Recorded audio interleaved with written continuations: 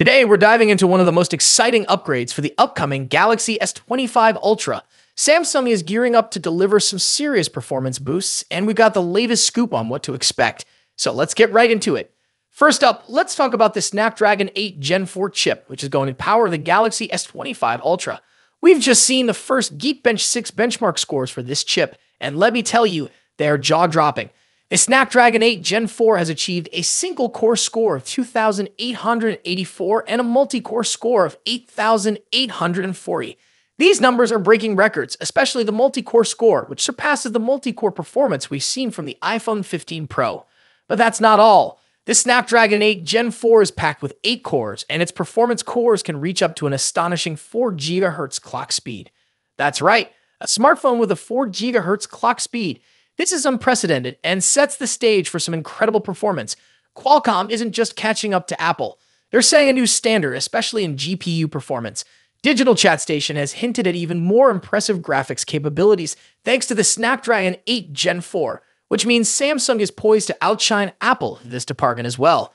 With such powerful hardware, I'm hoping we'll see some amazing game developments on Android to truly utilize this top notch GPU.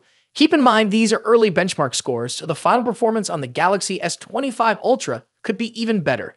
Now let's shift gears to another exciting development. Samsung might finally introduce satellite connectivity with the Galaxy S25 series. According to a recent software code leak from Android Authority, Samsung is working on an emergency SOS and text messaging service via satellite.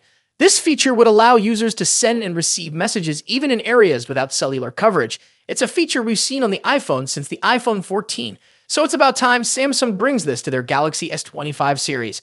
Additionally, we're anticipating a refined version of One UI 7.0 with the S25 series. There have been several leaks showing that One UI 7.0 draws inspiration from iOS. However, the update has faced some delays as Samsung works out a few issues. We may see the beta version towards the end of this month or at the latest in the first week of September. So at your first look at the Snapdragon 8 Gen 4's Geekbench 6 scores and other exciting upgrades coming with the Galaxy S25 Ultra. What do you think about these performance enhancements and the potential for satellite connectivity? Drop your thoughts in the comments below. That's all for today's video. What are your thoughts on this? Let me know in the comments section. As always, see you next time. Until then, goodbye.